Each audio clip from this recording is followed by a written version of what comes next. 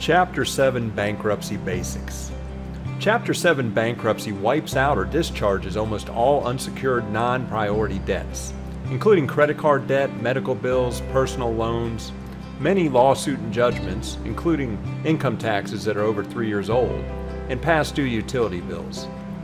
Not all debts are wiped out, however.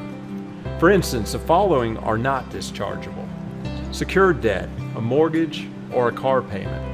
Priority unsecured debt is, includes most income taxes, family support payments, and penalties and owed to the government, along with student loans. To find out more about the debt that survives bankruptcy, call us today at 877 541 9307 for your free consultation. We are, we are available 24 7 for the bankruptcy help you need. Call one of our friendly bankruptcy attorneys today.